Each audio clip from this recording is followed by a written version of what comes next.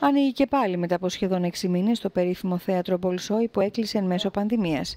Η διάσημη σκηνή ανοίγει την 245η σεζόν της με το έργο του Βέρντι Ντον Κάρλος και πρωταγωνίστρια την Αυστρορωσίδα Άννα Νετρέμπκο.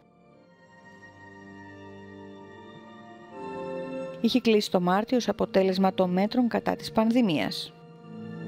Η τελευταία μου παράσταση στην ιστορική σκηνή ήταν μια ιστορική παράσταση, λέει η πρίμα μπαλαρίνα του Μπολσόι Σβετλάνα Ζαχάροβα.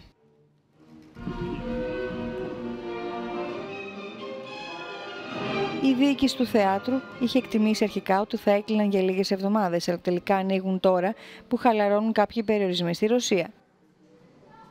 Οι θεατές θα πρέπει να φορούν μάσκα και να τηρούν αποστάσεις μεταξύ τους, ενώ το θέατρο δεν επιτρέπεται να γεμίζει πάνω από το μισό. Πολλοί άνθρωποι καταβάλουν πολλή προσπάθεια.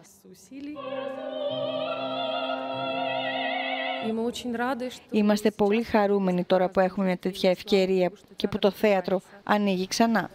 Η πρώτη παράσταση μπαλέτου θα είναι ο Δον Κιχώτης στις 12 Σεπτεμβρίου.